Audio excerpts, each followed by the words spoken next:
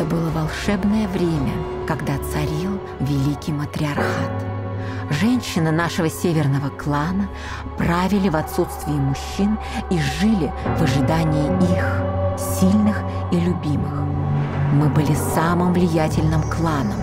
Наши сейфы с деньгами и драгоценностями были зарыты в наших северных полях. Мы покупали самолеты. Мы готовились к блестящей свадьбе моего сына-наследника. У нашего клана был лишний час, 13 или 25 и все члены нашей семьи жили на час больше в сутках, чем все остальные люди. Мы были все сильны. У всех есть карандаши, записки, желания. Наши желания всегда исполнялись.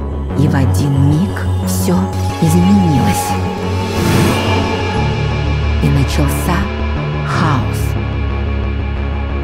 Чтобы ты, Бенедикт, любил меня одну.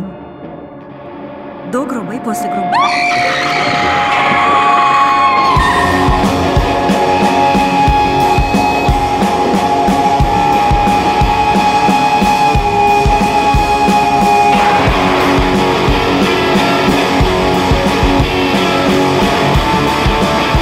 Захлопывай!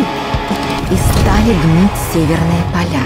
Власть переходила от одного к другому, сея война и болезни. Меня никто никогда не любил, я никого никогда не любил.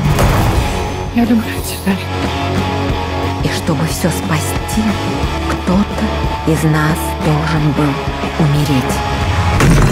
Бенедикт мой, не твой. Не надо сюда больше звонить!